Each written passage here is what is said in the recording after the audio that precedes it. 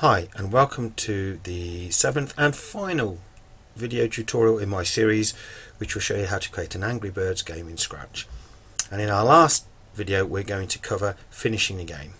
And there are two ways that the game can finish. First of all if the player runs out of birds and they've got none left to fire or if they've managed to kill both, get rid of both the pigs in which case they've won.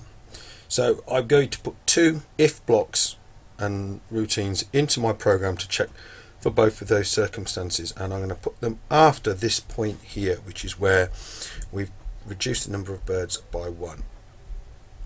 So what I'm going to do is I'm going to go to my control block and what I want to do is put a simple if statement in and pop it in here.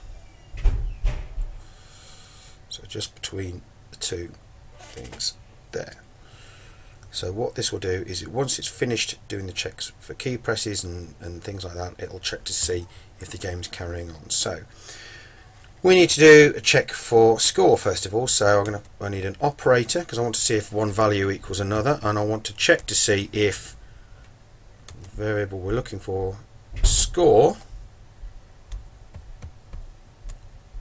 and we've awarded 100 points for getting rid of a pig so if they've got two pigs they've got 200 points. So if score is 200 I'm going to do a few things. I'm going to play like the end of level sound a victory sound. So I'm going to put play sound and I want Angry Birds level. And that goes in there. Okay I don't know why that was doing that. Um, play Angry Birds level end. And then I'm going to put a message onto the screen to say well done. So I'm going to say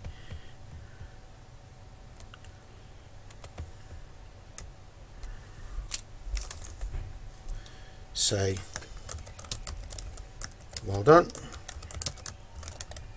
Birds win. And then at the end of that I want to stop the program because it's game over. So I'm going to put stop all just in there. So let's just quickly run that and see if that works. So aim my bird, one down, and that works. Brilliant. So we've got the victory now we need to have what happens if they lose. So underneath this loop, the if loop for score, I'm going to put another loop in and that's going to go under here okay. It need, mustn't go inside the other loop. It needs to go within the main forever loop that we've we put right at the start. Okay so all this is happening within that main loop of the program. So I'm going to go to another check. So I need to check this time if score is not if birds left sorry is zero. So I'm going to go and then I've put the if block in so I need to put another operator in. Birds left and that's going to be this time I'm going to want to put birds left. I'm going to want to put that straight in there and that's got to be zero. And then underneath there I'm just going to put one message.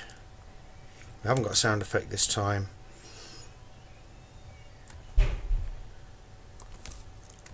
And I'm going to put Oops. Keep starting the game, I don't want to do that.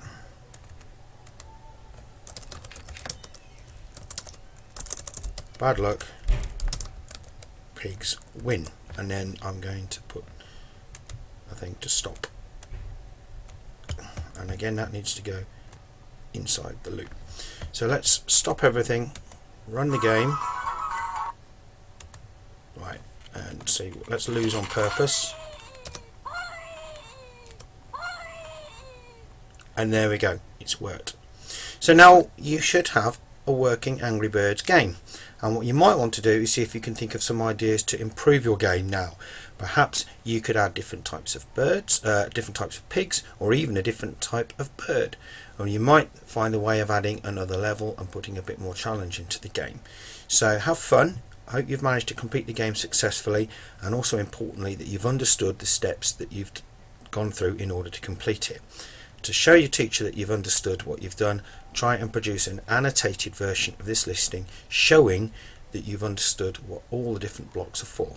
So good luck with your rest of your work in Scratch and I hope you've enjoyed this project.